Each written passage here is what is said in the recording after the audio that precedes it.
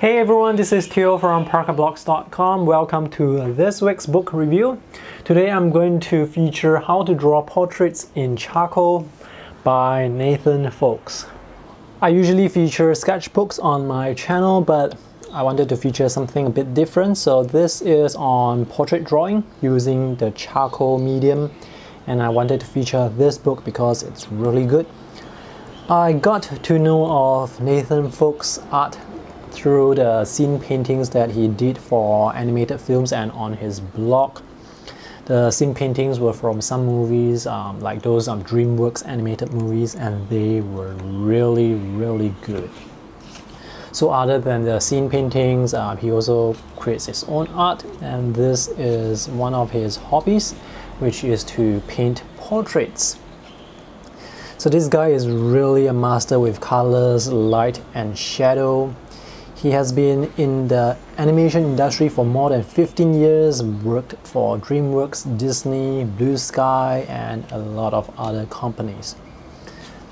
And in recent years, he started um, with his charcoal drawings in addition to creating background art. So um, in this book, we get to see his other artistic side.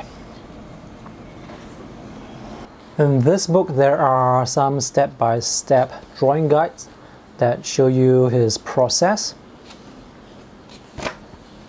So for example, here we have another step-by-step. -step. And of course, in the earlier pages, he showed you the tools that he was using.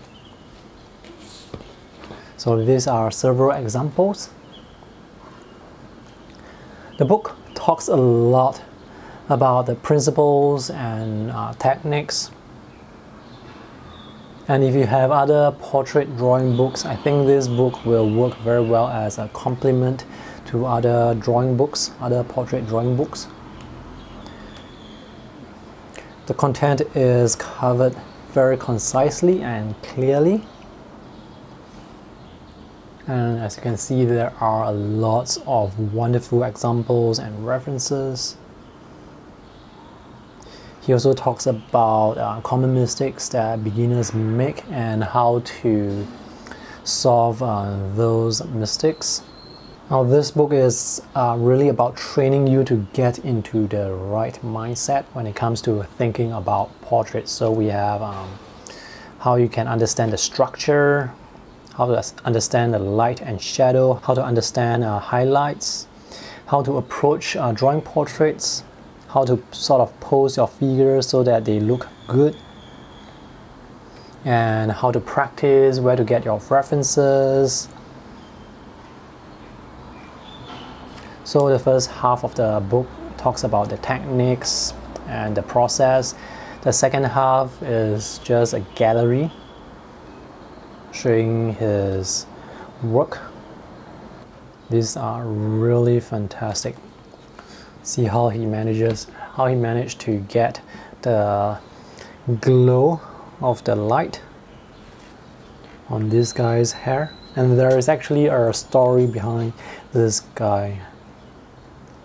So that's it. This is a paperback book with 180 pages.